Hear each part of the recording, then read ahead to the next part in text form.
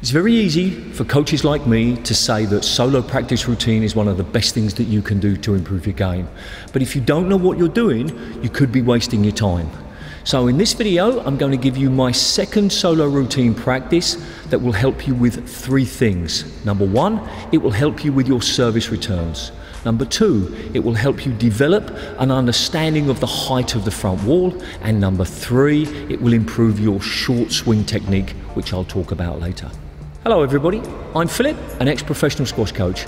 I try to make videos that you can't easily find on YouTube that explain the how, the what and the why. Hopefully I'm helping you improve one video at a time. The prerequisite for this video is the ability to hit the ball off the back wall quite consistently and also having watched, understood and practiced my side to side video which is up here. It's important because it's one of the core blocks of my training routine. You intermittently change between different ideas. Because of sound problems in the past, what's going to happen is I'm going to do a little bit more explaining and then we're going to switch views where you see me hitting the ball but I'll be overdubbing the description and the commentary. So before we start, here are five solo practice principles that I'd like you to adopt and think about.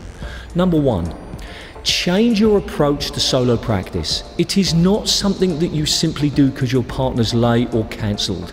It is part of a routine and process that helps you improve. In fact, I believe it's one of the most important things. And you've got to change your chip in the mind to say, this is important and I'm going to make time to do it. Number two, don't go on court without knowing exactly what you're going to do.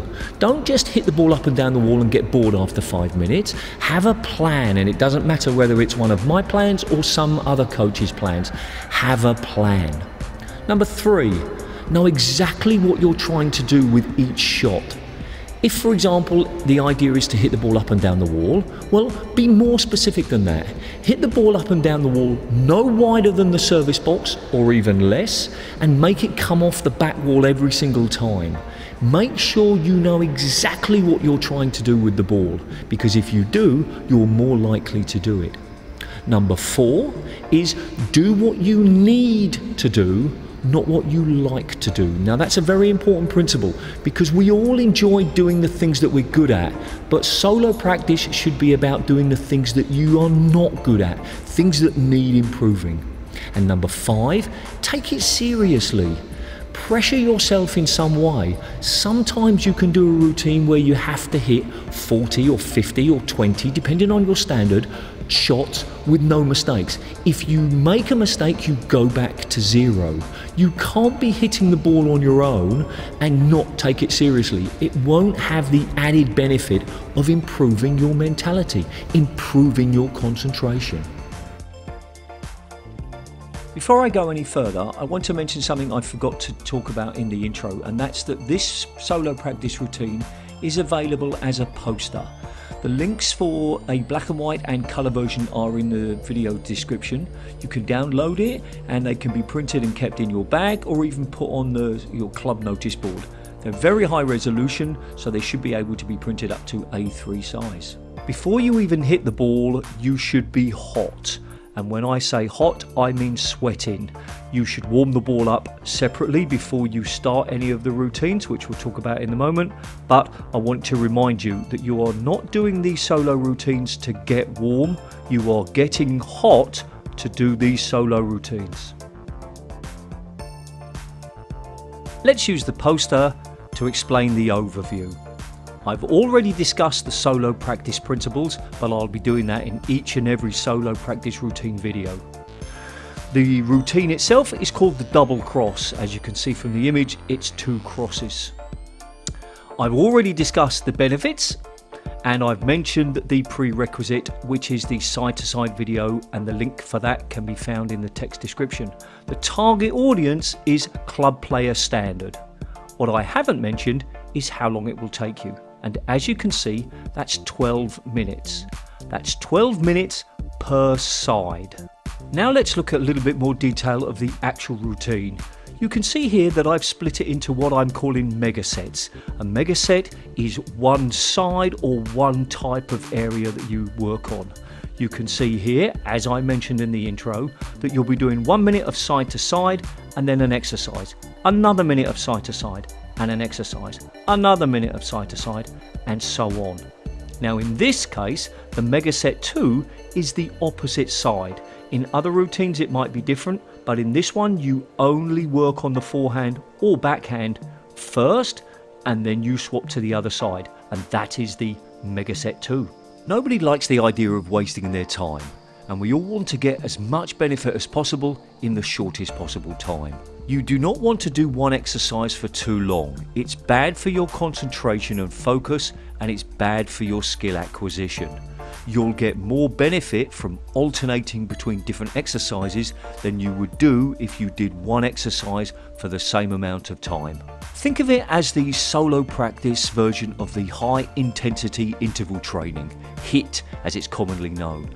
You can work really hard on one aspect of your game and then move on to another part and come back to the original part. The side to side exercise allows you to improve your concentration, improve your technique, and get fitter at the same time. If the ball isn't warm, you can start off by doing 100 of these instead of 50. See how many consecutive shots you can do within the service box width within your one minute.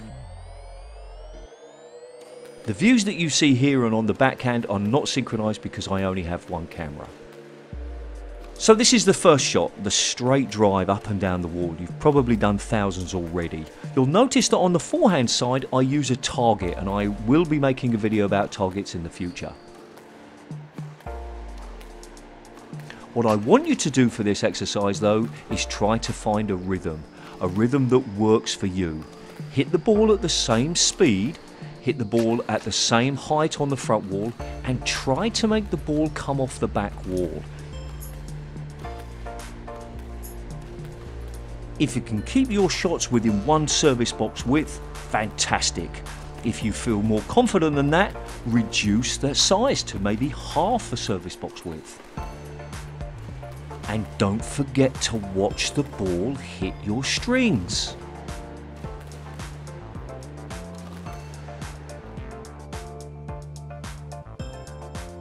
Okay, so we're back to the side to side for set two. This time, I want you to hit the ball at 90% your maximum. Come on, hit it! Time for shot two, straight high volleys from around the service line.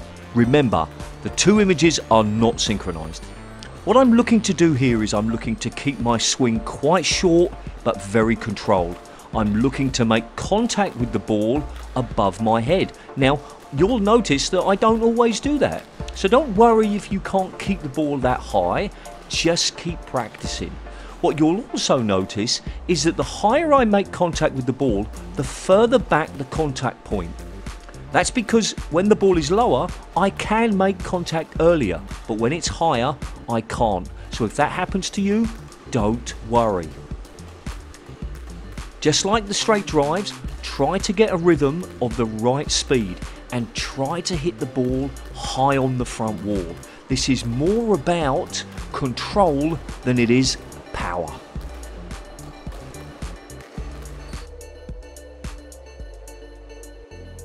Side to side, set three. This time, I want you to go back to your concentration and accuracy mode. In the first set, you did as many consecutive shots within the service box as you could. This time, I want you to beat that number. On to shot three. This is the low counter tight shot. What you'll notice first of all is that I keep swapping my feet. Don't become too accustomed to only using one particular foot. The second thing you'll notice is that because I'm an old man, I can't get very low, but you can get lower. The third thing I want you to notice is my opposite hand, the non-hitting hand. See how much it moves to counterbalance myself. Number four, I want you to notice how little wrist I use. It's all in the arm or the shoulder. I am just blocking the shot.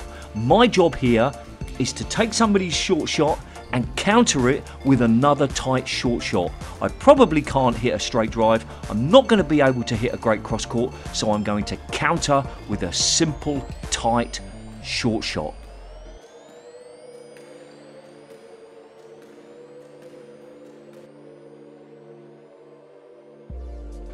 Time for set four of the side to side. We're back to our power mode now. Previous one was 90, this one is 95. 95%. Come on!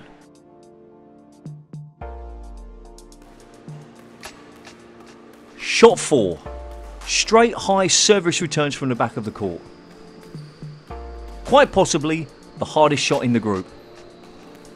Quite possibly the most important shot in the group. I don't do a great job of demonstrating it here, but on some of the shots you can see that I do keep my racket quite high, I keep my elbow quite high, and I'm blocking. I'm not trying to smash this ball, I'm trying to hit it down the wall, high on the front wall, and keep it tight. I'm trying to make life difficult for my opponent once he has a good serve.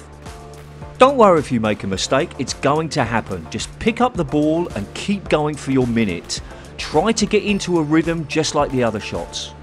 Don't get too close to the wall and make sure that when you finish swinging, your racket finishes high.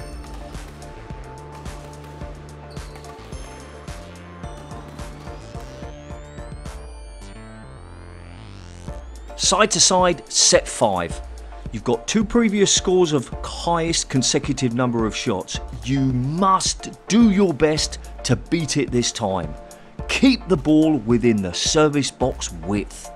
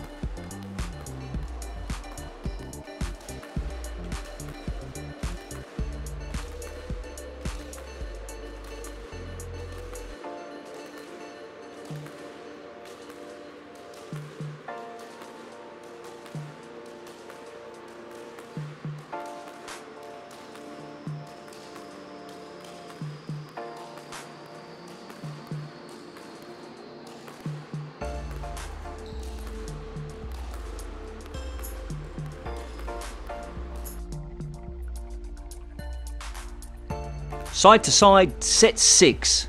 It's the final power mode. I'm looking for between 85 and 95% of your maximum. Come on, last one.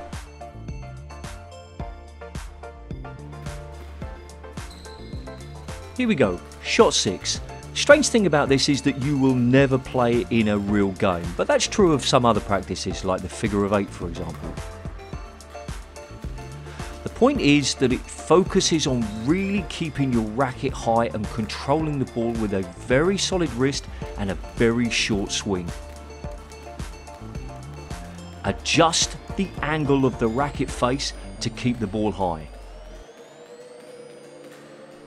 Don't get too close to the sidewall and definitely don't try and hit the ball too hard.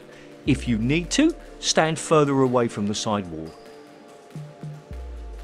It's all about controlling the height of the ball, not controlling the width away from the sidewall. Keep your arm high, keep the racket high, and keep your wrist firm.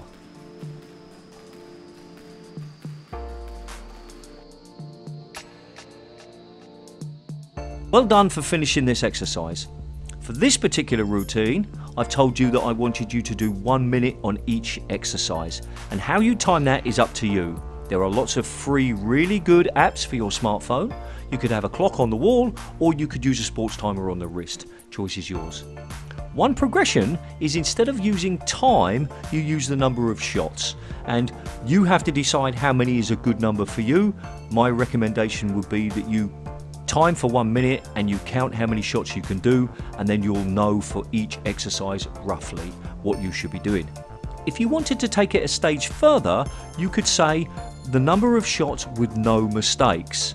That really begins to put pressure on you, but it definitely extends the amount of time that you need for this exercise. I've given you a set order for doing each of the exercises, and yes, you could change those and you could vary them, but it's my experience that the combination of low, high, low, and then high, low, high is the best one. You could, if you wanted to, do one shot on the forehand, side to side, the same shot on the backhand. But that means that you're doubling your uh, routine to 24 minutes. And if you have the time, that's good. But again, I still recommend staying on one side, finishing the routine, either taking a very short break, quick sip of water or something, and then switching sides, or just go straight across to the other side. That definitely improves the intensity. One final thought about variations and progressions. I would do this routine at least three, maybe four times before you think about making it harder or changing it. Get yourself into a routine so that you really understand what you're doing in each shot before you think about changing it. That was routine number two. I hope that it was useful for you. If it was, tell me in the comments what you enjoyed most. Give me some feedback on how it worked for you. If it wasn't useful or you didn't enjoy it, also tell me in the comments. Tell me what you didn't like so I can improve my videos. Now, here's a quick tip for you. Most of us have three or four different speeds that we hit the ball. When we hit the ball up and down the wall, when we kill the ball, when we boast it, and when we drop it you should try to develop a lot more speed range don't hit the ball at the same speed all of the time, especially when you're hitting it down the wall.